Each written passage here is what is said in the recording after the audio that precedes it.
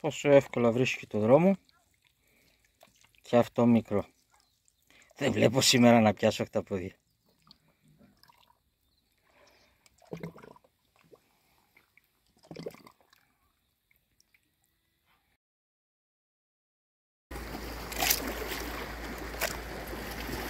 Οπα, άλλαξε η μέρα σήμερα. Κάτι καλό. Πρωί πρωί. Είναι πάνω από ένα κιλό και 200 γραμμάρια. Ε, και συνεχίζουμε να πιάσουμε. Στο απόγευμα όσα τα πόδια έπιασα, όπως είδατε, τα άφησα όλα, ήταν πολύ μικρά, δεν έπιασα κανένα. Σήμερα δεν είχαμε και καλό καιρό, αλλά έπιασα, δεν μπορώ να πω. Ε, η προετοιμασία, πώς γίνεται; Παίρνεις ένα πόδι από κόκκορα, το οποίο του δένεις μια αλυσίδα, όπως είναι αυτό εδώ. Ένα γάντι, δερμάτινο, το πιάνεις σε αυτό το σημείο και το στέλνεις μέσα στη θάλασσα κρατώντας το καρούλι αυτό με μπετονιά 0,90 ή και ένα χιλιοστό αλλά 0,90 είναι αρκετά καλή. Έτσι ξεκινάς για τα κταπόδια πώς θα τα πιάσεις. Το ρίχνεις μέσα, το αφήνεις λιγάκι να κάτσει κάτω και να βρει τον εαυτό του που λέω εγώ και αρχίζεις και μαζεύεις. Σιγά σιγά σιγά. Όταν όμως νιώθεις ότι κάτι βαραίνει πίσω τραβώντας το κοκοροπόδι τότε το ξεκολλάς αμέσως και το μαζεύεις συνεχόμενα μέχρι που να το φέρεις στην άκρη. Στην άκρη έχω το γάτζο και το τραβάω. Στο τέλος έπιασα ένα δίκυλο, με το ζόρι το κατάφερα να το βγάλω. Παρακολουθήστε όμως το βίντεο μέχρι τέλος. Γιατί εκτός που σας έχω μια συνταγή, δεν κάθομαι να τα χτυπάω τα, τα πόδια στα βράχια. Έχω ένα δικό μου τρόπο που τα μαλακώνω και γίνονται πολύ μαλακά και πολύ ωραία.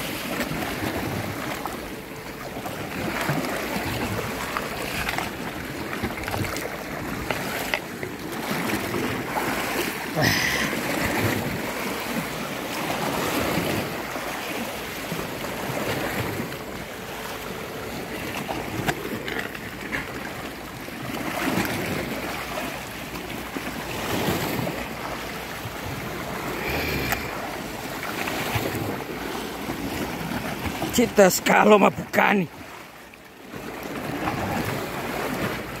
Ε, αυτό ναι. Αυτό ναι. Είναι πάνω από 2 κιλά. Ωραίο, ωραίο, ωραίο. Πολύ ωραίο.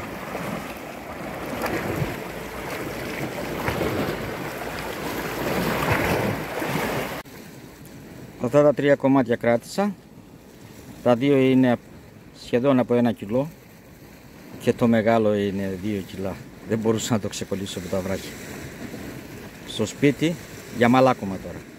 Ο δικός μου τρόπος, αντί να τα κοπανάω στα βράχια, έχω φτιάξει αυτό το εργαλείο με τις τρύπες, ο κόπανος που λέω εγώ, το βάζω μέσα σε ένα σακί, βλέπετε το μέγεθος που σας λέω, άλλο στη φύση και άλλο εδώ. Το βάζω μέσα στο σακί,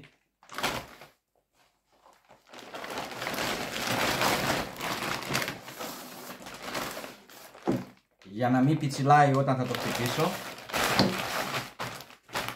και το χτυπάω 7 με 8 φορές.